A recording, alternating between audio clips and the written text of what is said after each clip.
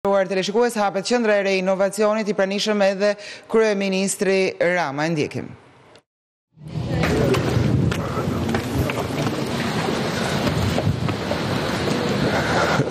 Qendra e Inovacionit, Sigurisë dhe Mbrojtjes përbëhet nga tre godina kryesore. Kjo është godina e parë në të cilën të gjithë aktorët ne mund të ulemi këtu dhe bëjmë diskutimet përkatëse për ide të ndryshme apo për sfida të ndryshme që ato kanë dhe pastaj në hapësirën e projektimit apo të research-eve që ne do duhet të bëjmë është të japim edhe tendencat për zgjidhje të caktuara.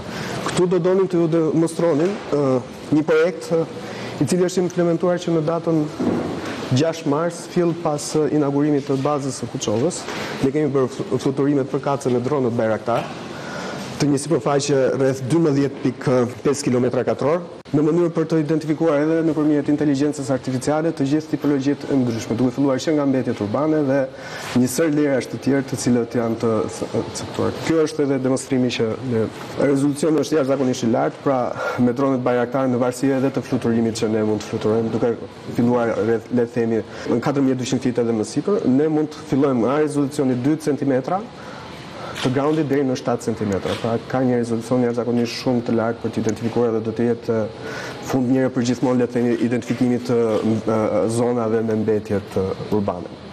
Kjo do të ndihmonte jashtëzakonisht shumë sidomos edhe për pjesën e vijës bregdetare, sepse sado që ne mund të marrim informacionet në mënyrë operatoriale, gjithmonë edhe Le të themi, informacioni njerëzor nuk mund të shkojë në çdo pikë të territorit, por kjo do të mundësonte që nga çdo pikë e territorit ne të kishim të gjithë informacionin në dorë.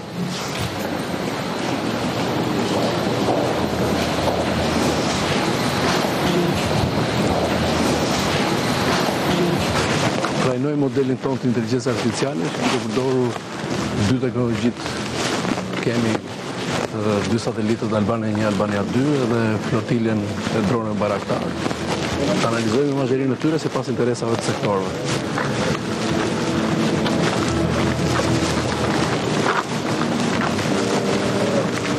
Ministritë janë duke sjellë nevojat, Ministria e Bujqësisë ka sjellë dhe listën e nevojave që ka, që që ne do Adoptojmë sistemin në përmbushje të kërkesave të tyre.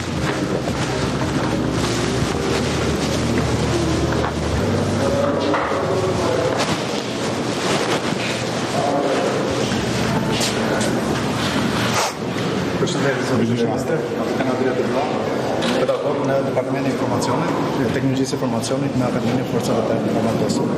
Këtu në këtë godinë ne jemi duke zhvilluar një hakathon me studentët e vitit të parë bachelor dhe vitit të tretë. Aty është dhe një sfidë. Sfida është drone technologies ku pjesëmarrësve i është kërkuar që të krijojnë aplikacione inovative për drone. Ok, duke përfshirë tek pjesa e rritjes së kapaciteteve operacionale, duke përfshirë rritjen e kapaciteteve të survejimit, të sigurisë në komunikimin, transmetimin e të dhënave të droneve me qendrat e kontrollit dhe komandimit të tyre. Ka pasur ide interesante ku ju ftoj që mund të shikoni edhe vetë. Një ide që deri diku ka filluar dhe të konkretizohet dhe të marrë formë është kapaciteti i face recognition të dronëve që mund të jetë dhe e implementueshme dhe e ka realizuar një grup grupi i fundit atje që është Five Bits.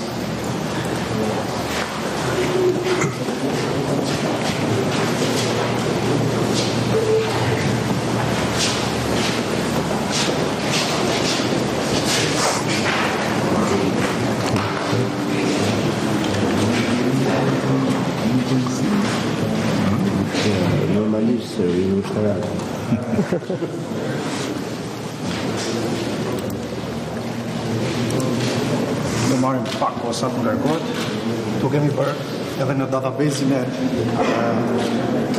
të gjurmueshme kemi vendosur edhe foton tuaj edhe ministre si për të parë një shembull real nga implementimi, se merr edhe kohën e ngarkimit, ku nëpërmjet, domethënë, këtu po supozohet që kjo teknologi do implementohet në një dron, Por për momentin është e implementuar në kamerën e laptopit. Normalisht që fazat e tjera ky aplikacion edhe me ndihmën e ekspertëve mund të përmirësohet dhe mund të implementohet në teknologji dronësh të ndryshëm ku lejohet dhe adaptimi dhe përmirësimi, updatimi i softuerëve.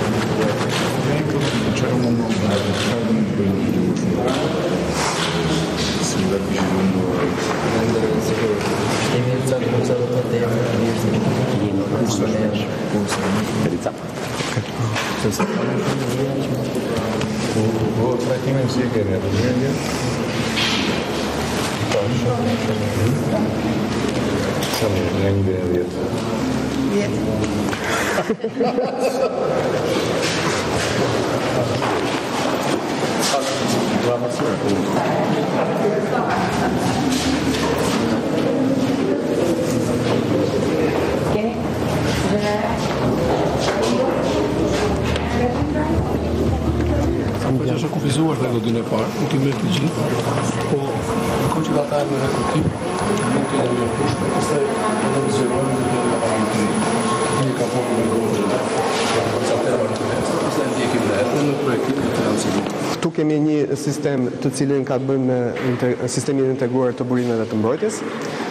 Anita është duke zhvilluar edhe disa module të tjera që kanë të bëjnë me kartën e ushtarakut edhe me pjesën e analizave shëndetësore. Janë duke punuar për zgjidhje të ndryshme.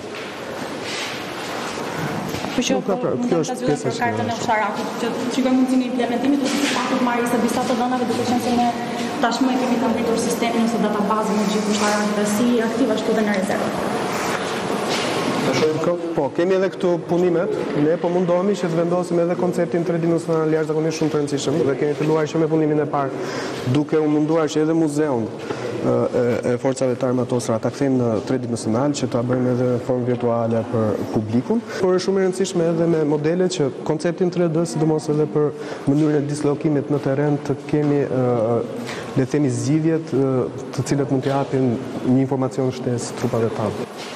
Këtu është pjesa pastaj ku ne bëjmë skanimin, Me skanimin tre D, do të skanojmë të gjitha objektet për të ndërtuar edhe kabinetin digital të armëve më pas.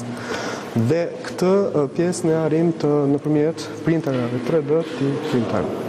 Ndërkohë do kemi edhe një punëtori të vogël e cila për pjesë mekanike që do kemi nevojë. Ideja është që ne fatkeqësisht Importojmë pothuajse çdo gjë, lëmë çdo gjë.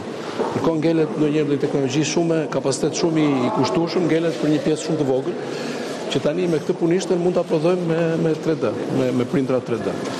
Them që kjo hapësirë është menduar edhe të qenë për të qenë vendi i disa startup-eve. Dy të parat duhet t'i kemi sot, sot këtu, është ajo zonja që prodhon ë që bën modifikimin e makinave dhe një grup të rinjsh që po prodhojnë ë dronët Një dron shqiptar dhe teknologji dhe inteligjencë artificiale të bashkëngjitura me dronët, do jenë, si me thënë, klientët e qendrës për t'u rritur pastaj dhe për t'u hapur edhe në fusha të tjera.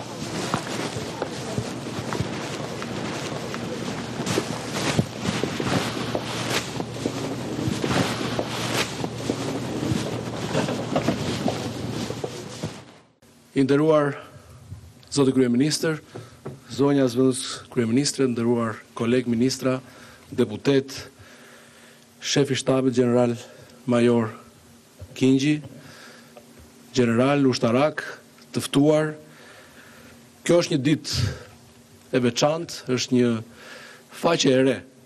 Që ne hapim, në Forcat e Armatosura, në Ministrinë e Mbrojtjes, në institucionin tonë të sigurisë dhe mbrojtjes, është një faqe modernizimi, është një kalim në një fazë të re të zhvillimit të Shqipërisë në fakt, që po i bashkohemi edhe ne. Është mishërim i vizionit kryeministrit Rama për futjen e zhvillimeve